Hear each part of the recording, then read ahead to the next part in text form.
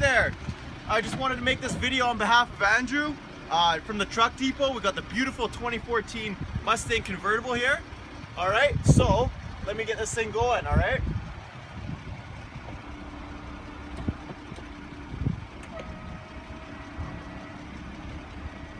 What did I do wrong? Oh, there we go.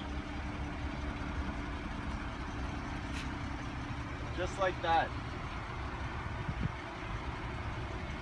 Spring is here.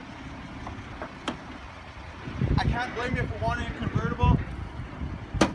Let's go underneath the hood, see what we're working with here. This is a beautiful Mustang, okay? Just for the shape, the miles, everything like that. This one can't be beat out here. So underneath the hood, you got your V6 engine there, you got your stabilizer bar because it is a sports car. So it's a 3.7 liter displacement, lots of pep, still great fuel economy. I just checked it out on my infotainment dash there. It was getting about 9, 9.5 liters per every 100 kilometers since the, the last time the trip was reset. So that's fantastic. Your simple servicing is nice and easy to get you if you like to work on cars yourself. Beautiful. So no real paint chips or anything on the hood. Very good shape. All right. So this particular one does have the fog lights even. Coming around to the side here. Got lots of life left on these tires right here. The nubbies, you can still see them there, which is great.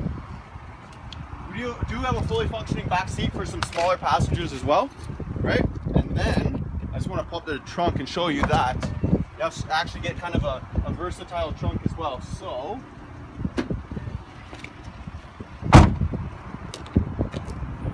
You can pull up to the golf course with your clubs in there. I mean, you can even take this thing to the airport and fit your luggage in there. So, um, multi-purpose vehicle for sure. Uh, I'm just gonna hop in the driver's seat here, point out a couple more things that we got uh, to offer. Power driver's seat with the lumbar support. I know you can't see it, but it is there. We got the Bluetooth on the steering wheel as well. We got the wireless Bluetooth uh, audio, so you can play music uh, from your phone without needing any cords or anything in the way here. Heated seats on both sides. We got the sport mode, and I'll tell you what, I think this thing is ready to go for a drive. So I'll catch up with you in a little bit. Take care.